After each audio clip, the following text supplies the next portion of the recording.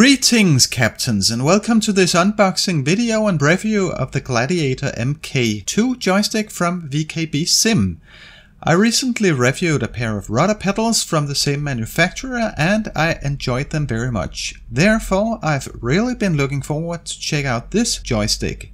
By the way, if you haven't watched the rudder pedal review video yet, then I've provided a link in the video description below for you to go check out. The stick was sponsored and sent to me by Nicholas from the X-Plane.org store, so once again, thank you very much Nicholas. This is a box containing the joystick, let's see what's inside. In the box we have the actual joystick, what a surprise, and a quick installation guide. What's really neat about the VKB Sim products is that they are using magnetoresistive sensors or MaRS sensors instead of usual Hall sensors. MaRS sensors are so-called non-contact sensors, which means that there is no friction and that they are extremely resistible. At the same time, they have an ultra-high resolution, making them extremely precise. Now, the rudder pedals were 100% steel and aluminium, that's not the case with the joystick here though. The base plate here is the only visual part that's made of metal, while the rest of the joystick is made of polycarbonate. Now don't get me wrong, the joystick still feels really sturdy and high quality. The joystick is actually a replica of a real World War II KG-12 grip. It's got a right hand grip design, as you can see, there are lots of buttons to config, triggers, hat switch, etc. 12 buttons in total, but with the shift and mode functions, it's actually 29 logical buttons in total. We got a throttle control here on the side. Two LEDs shows which modes being used and can be changed by pressing the mode button here. The joystick is pretty heavy and in the bottom it has these silicone feet which gives it a strong surface grip. In combination with the weight of the joystick it makes it extremely stable when put on the table and controlled in flight. The joystick has a twist grip, which makes up for the rudder which is neat if you don't have a pair of rudder pedals. All in all, a very neat joystick that feels very very good. If you have the MK4 rudder pedals, you can connect them to the joystick here on the back with a cable that came with the rudder pedals. The installation is super easy, it's all plug and play, so no drivers are needed. Just plug in the USB cable into a USB 2 port in the computer and we're good to go. I've done that now and will fire up X-Plane 11 for the first time with the new joystick. Let's start off by going into settings to calibrate the joystick. Let's click calibrate and then first move the joystick through all axes.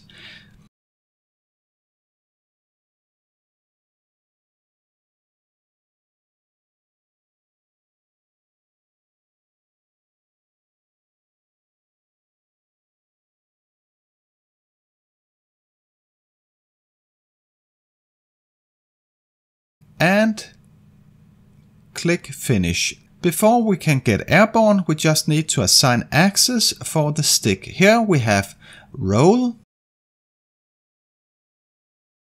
pitch, and for now I'll ignore the twist axis because I have the rudder pedals connected.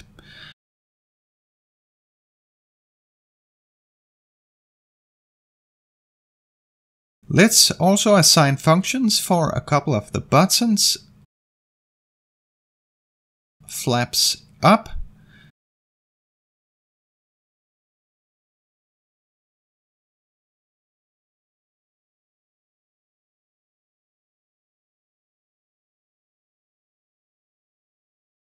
Flaps down.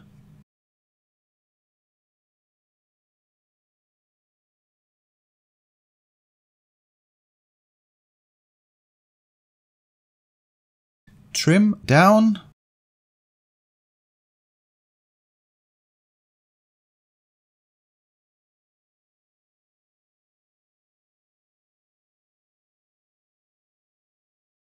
trim up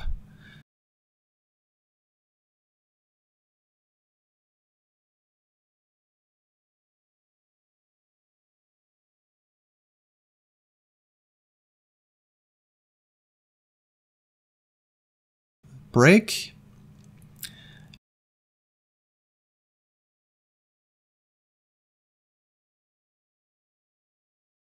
And we're done with the calibration and ready to take them for a spin in a flight. Okay folks, we're at Molokai, Hawaii and ready to take off from runway 23. Like in the review of the Mk4 rudder pedals, we are flying the Cessna 172 from Airfoil Labs and it's the idea that we'll fly a casual pattern around the airport to come back and land again here on runway 23. The aircraft is configured for flight, so let's get airborne. Flaps 10 for takeoff and release parking brake. Smoothly increase engine power to full throttle.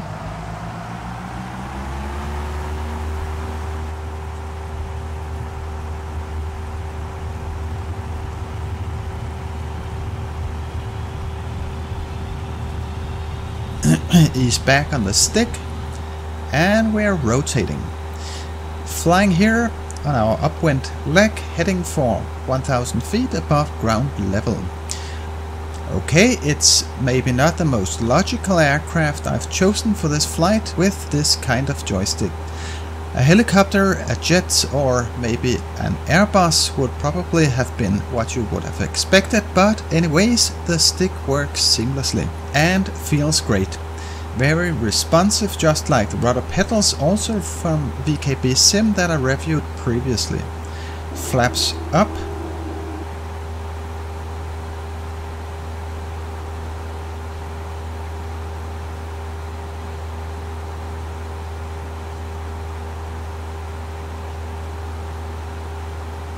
We'll turn left onto the crosswind leg.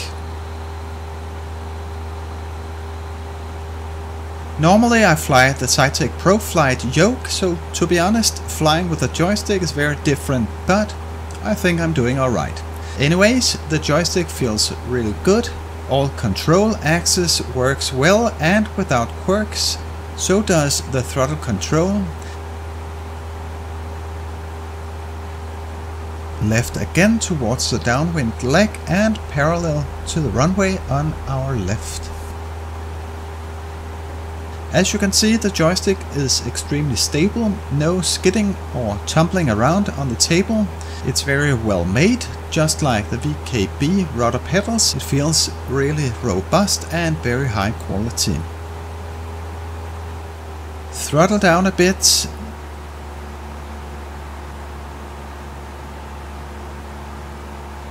Let's level off now.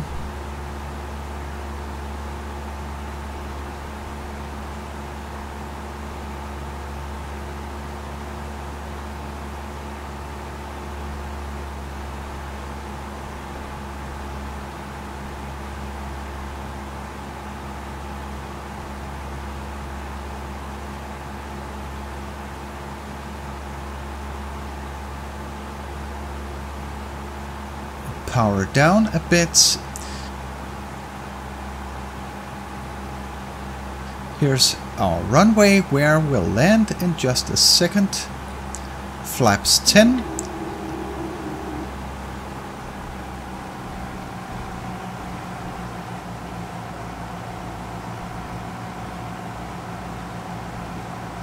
Starting our descent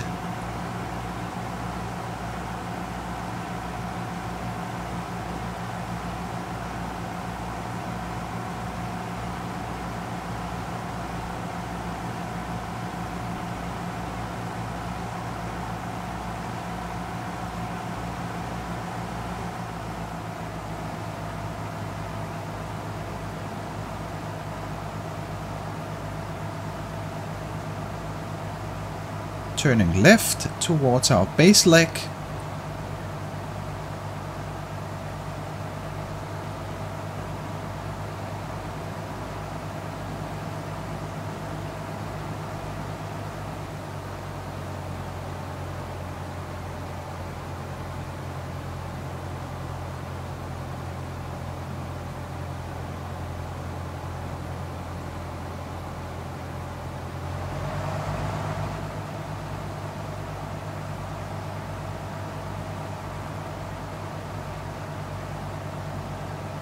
flaps 20.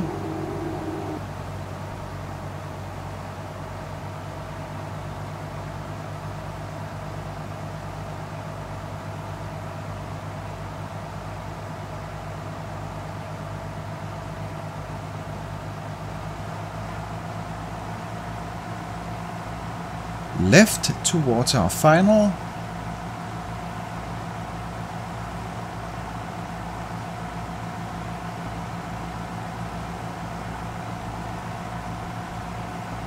Full flaps.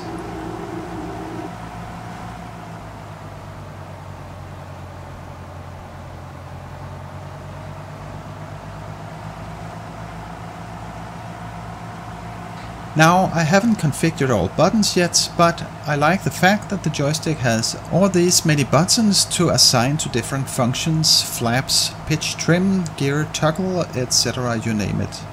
With the mode and shift buttons, the physical buttons becomes many many more logical buttons, which is great. But I'm the kind of guy that suddenly forgets which button is configured to do what in one mode instead of the other, so I'm not sure I'll be using the modes. We'll see. It's great to have the opportunity though.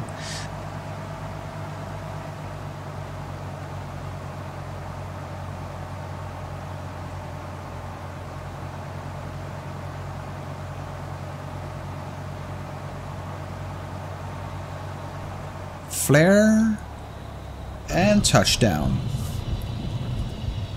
In conclusion, a very robust joystick with lots of configurable buttons the mode and shift functions accessed by either pressing the mode button or the shift button on the front of the stick increases the number considerable to 29 logical buttons. Even though I'm not sure I'll be using all these logical buttons. Control of the joystick is very smooth and the stick feels very good in the hand. Worth noting is that the joystick is designed as a right hand grip. The twist grip can be assigned to the rudder axis, which is neat if you don't have rudder pedals.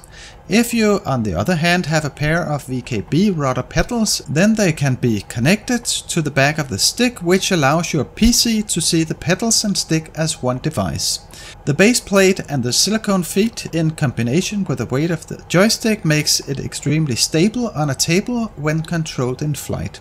All in all, a really great joystick with a lot of great features, which is well worth checking out. I've provided a link to the xplane.org store where it can be purchased for just below 100 US dollars. This was all for now, I hope you found it interesting. Thank you so much for watching and hope to see you very soon. Until then, take care.